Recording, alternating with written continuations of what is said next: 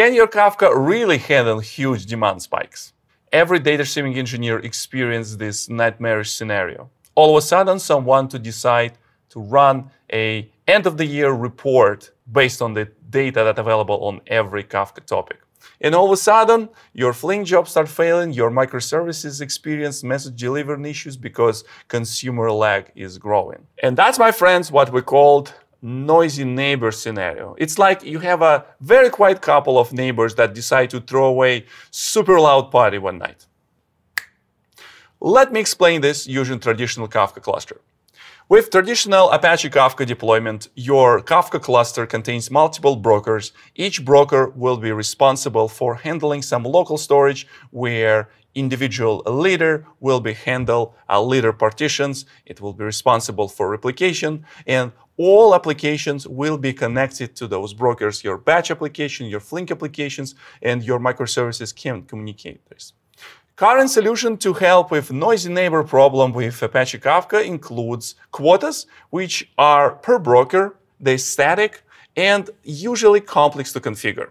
Or you can implement cluster mirroring, but it, it will require additional infrastructure and might cause additional overhead in uh, supporting this infrastructure. So we're not going to talk about this. Now, let me show you how the WarpStream solution works in this case.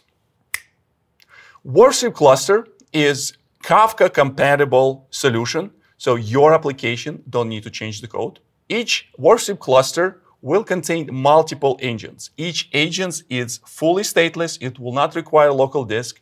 And each agent will write to one common S3 bucket.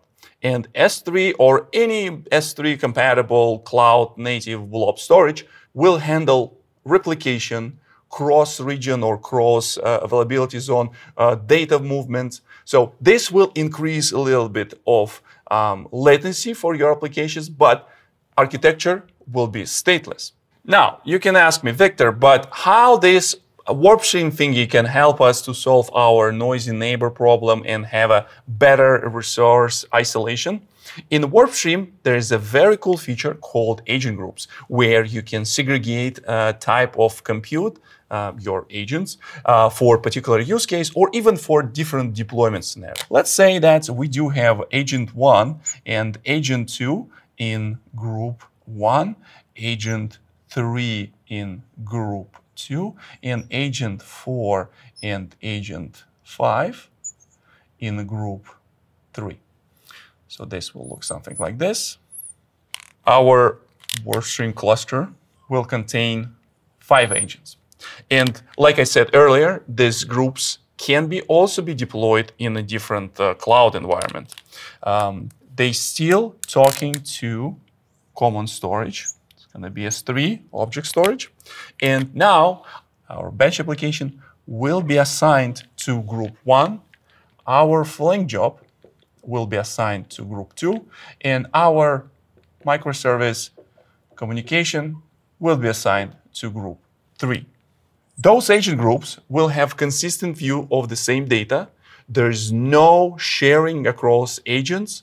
Uh, data will be stored and replicated if needed inside object storage, and your applications will not affect each other. So no more scenarios where your bad job will require that other services will suffer.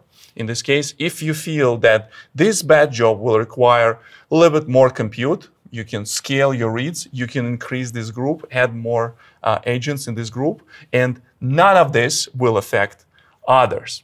That's pretty cool. Now, let me summarize this for you.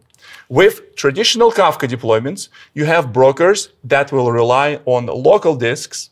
Brokers will have a lot of responsibilities like replication and maintaining the data consistency. And only solution to provide isolation of resources is uh, quotas. Another solution that involve Confluent Replicator or Mirror Maker to create separate cluster. We're not going to talk about this. It's also workable solution, but it will create much more difficult to maintain infrastructure.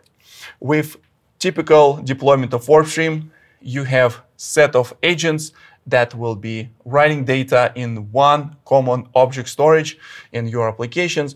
will not need to change any application code because WarpStream is a Kafka compatible solution. And if you decide that you need to segregation of resources based on certain scenario like application type or deployment, you will be able to implement this with WarpStream agent groups.